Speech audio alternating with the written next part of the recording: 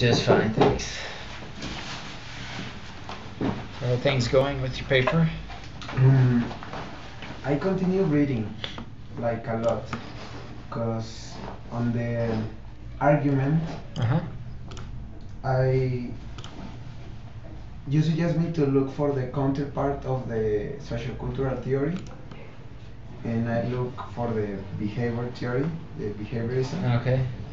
But I was like now finding the conne- the connection between sociocultural and Behavioral. behavior uh-huh. theory. However, I I found very interesting ideas and things. Okay. Well, can I read some quotes? Sure. Sure. Yeah. It says, roles serve as a scaffolding and should be dropped when they are not longer necessary. So, I imagine myself like developing the behavior theory and present the roles, well, the importance of literature circles and the importance of the roles. Okay. Then on the sociocultural theory, present well the theory and also present that uh, liter- literature circles can be like presented in a much more open way in which students can mm, express what they know. Well i have another quote. It says newer forms or literature circles eliminate the use of roles and change the preparation the preparatory process for discussion.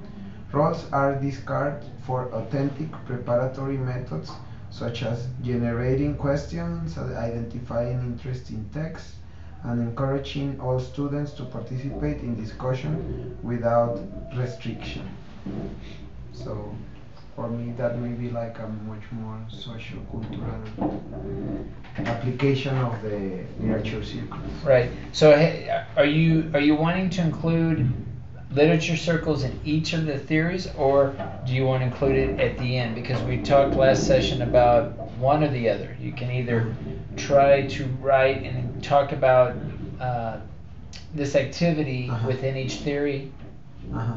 or leave it towards the end and discuss it in terms of the theory that you've already presented. There's there's two ways. Uh-huh. Um, it doesn't really matter which way you do it, but if you uh, if you it sounds like now you want to include this in each of the sections.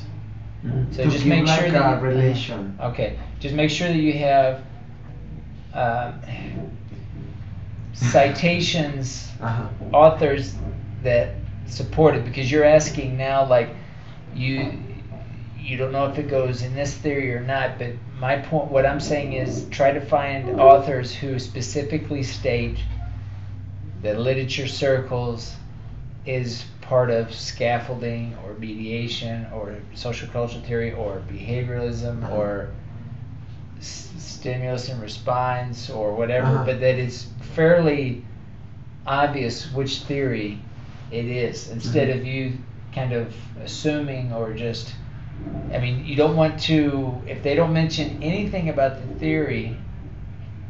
Right? You you want to try to find authors who connect the theory with the, the practice. Mhm. Okay. yes Okay. Now, if you say that you can't find a lot about a lot of information about that, then just talk about the theory, uh-huh. and and then at the end discuss the uh, this uh, literature circles Uh-huh. and relate to whatever that you talked about, Uh-huh. but more it would be less. Okay, so it would be. It just depends on how much information you find Mhm. that specifically links literature circles to a theory. Mhm. So, well, I, I was looking like for a lot of uh, uh, sources, and I found some interesting, but these ones uh, took my attention and because it links what I what I want to express, Okay. and also show me that maybe only presenting the roles to the on the activity are like is like limiting students. Maybe it's a good activity at the beginning, but through a process, uh, the students uh, understand that that's just like a role and they Okay. can express they can use language and they can learn through through the freedom Okay. instead of if if they are like just reading or hmm looking for words or Right. isolated uh, objectives Okay. this is like much more I think like collaborative integ- or inte- integrated. Okay. Uh-huh, it's a colla- Okay. collaborative uh, what's the word Collaborative learning, or yeah col- okay. collaborative learning Okay. Okay. I mean that's fine. Um, yeah, I'd like to see it kind of in your literature review here, so we can kind of look I at. know. Yeah. Um, is this are these your notes here? yes Okay. the the citations in in red were like doubtful to continue on the paragraph Ah, okay. the yellow ones I was just checking that they are on the references Ah, okay. All right. Uh, did you have any specific questions about any of the texts that you've uploaded here in your literature review? um, I don't see your thesis statement. Have you included your thesis statement? Or is that is that this right here? I think it Is was this- part of the end. Uh-huh. Ah, okay. So you have your introduction. Uh-huh. Okay, and then and then you're going to develop. uh-huh, the behavior theory I didn't develop. Are you talking about behaviorism? Mhm, The Skinner. Okay, the behavior. Con- conduct, the verbal. What is the name theory? Verbal conduction, conductionism or something like that. Because you might, you know, you can call this behaviorism Mm-hmm. Instead of behavior theory. Behaviorism. Behaviorism, which is a theory, which Mhm. is a learning theory. Yes. Um, and I was looking for it and I didn't find like one one uh, wrote by Skinner, but I found reviews by Chomsky about the behaviorism and reviews Well, from other authors, but because Chomsky would be more directly. cognitivism. Uh-huh. So just be careful not to mix your theories. If you're talking about behaviorism, okay. If you're talking about cogn- cognitivism, that's another learning theory. Mhm. Yes. Um, and so just.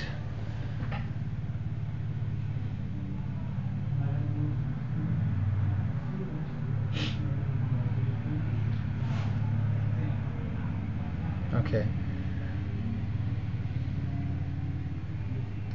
All right. Um, so yeah, I mean, I think. Uh, did you, if you don't, do you have any specific questions you want to talk about today, as far as what you have here, or any doubts that you have about how you want to organize your literature review?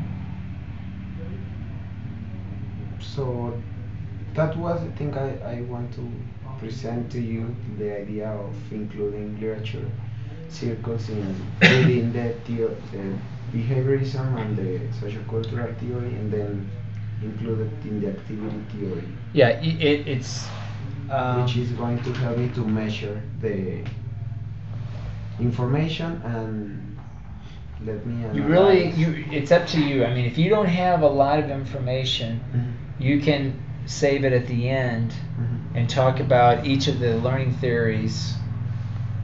With regard to this uh, th- uh, theory. If you if you think you have you know more information that you want to talk about, then maybe you want to include it in each of the sections. But it's really up to you. It depends on how much information Mhm. um, you know how much information that you have that links theory specifically to literature circles. Mhm.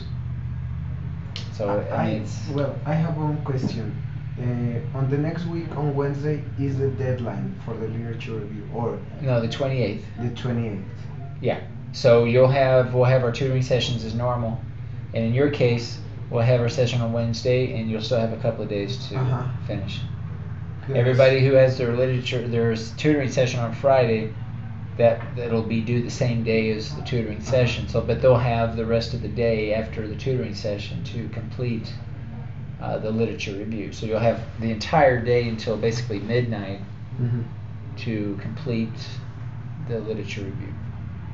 Okay, and that's what I was asking.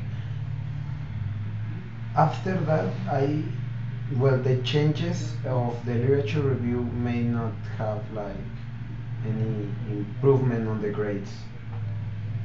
Uh, well, not not really. If uh, because the the way I'm grading is that Mhm. each of the sections, the literature review, the method section, the results and discussion section. If you look in um, Canvas, you'll notice the points that are allotted for each of those is fairly small. Let's look at assignments.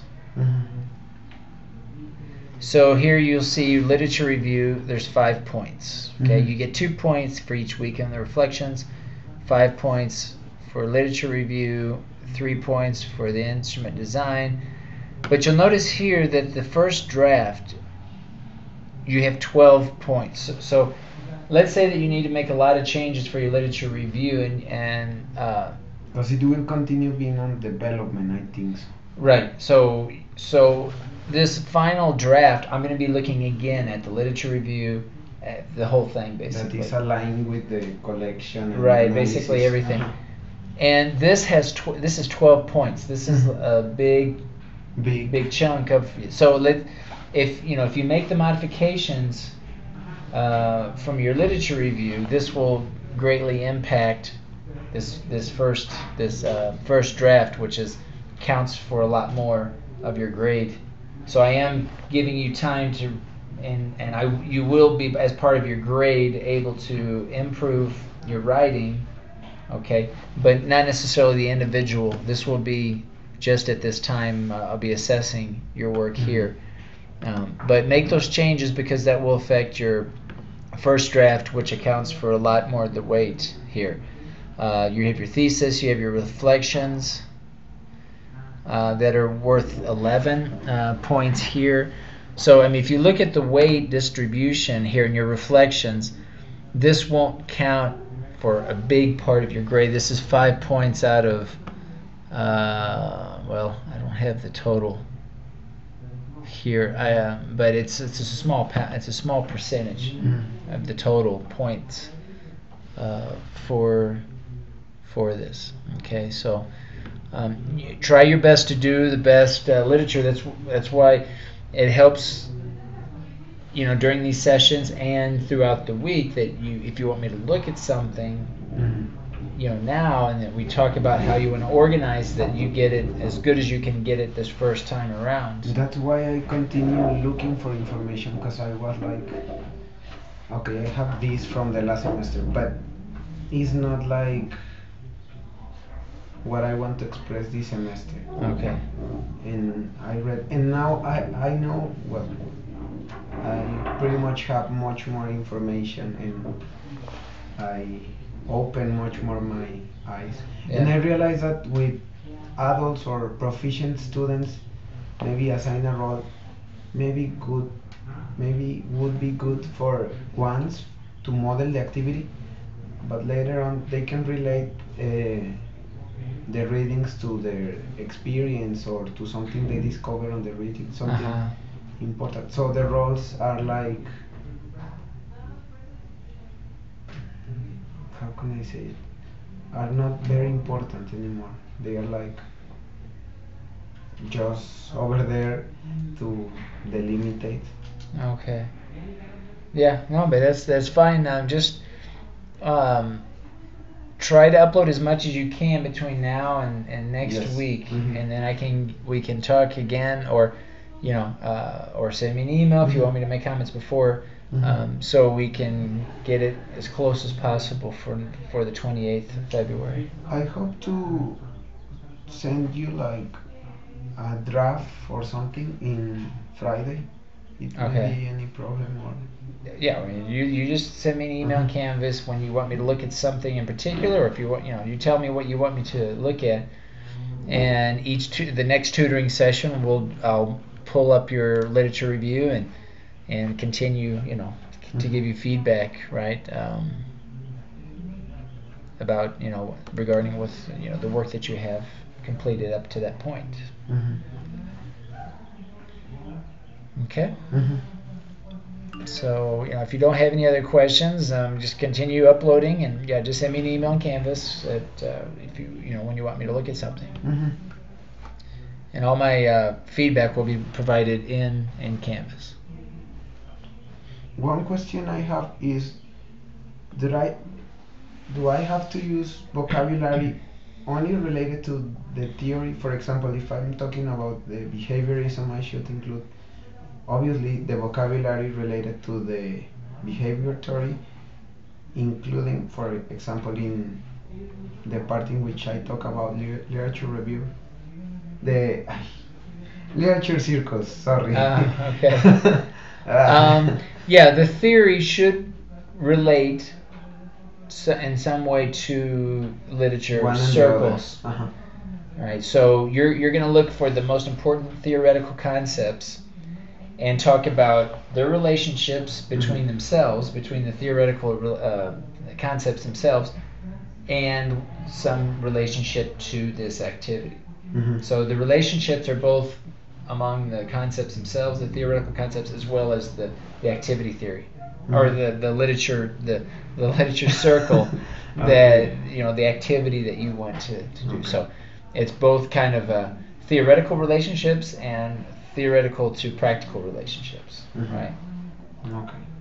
right? And and part of the I, I'm I bet that some of the experts will also some of the evidence that you provide from the experts will also make that clear. They will also be talking about the theory and some sort of practical a- a- application, probably. Mhm. So that practical ap- application may not be called specifically literature circles, but it's your job to see that okay they don't call it literature circles but it applies because you know it's this type of interaction or this type of communication or this type of language development okay and so that there is a link there even though they don't maybe specifically refer to it as literature circles but uh, Mhm. what what you want to try to do is draw relationships. And, and again i go back to forming an argument and you know this is how you want to organize trying to make sense of these claims and show different you know uh, perspectives Mhm. saying you know all of whatever theory or concept that you discuss even scaffolding there are limitations. It's not all good. It's not all this is the way it is. That there's always another perspective another way of seeing that so you want to do your best to try to show both of those perspectives to say okay maybe it's good but there's also this other perspective that Mhm. counters your original argument Okay. so but that's the idea Thank you, teachers. okay no you're welcome so uh, yeah let's just keep keep reading keep writing time. yeah and uh, uh, just send me an email if you you know want me to look at something before your next tutoring session otherwise we'll we'll discuss next week uh, what you have Okay. and uh, keep making changes Thank you. all right Yes. all right have a good week good week. thank you see ya Bye. bye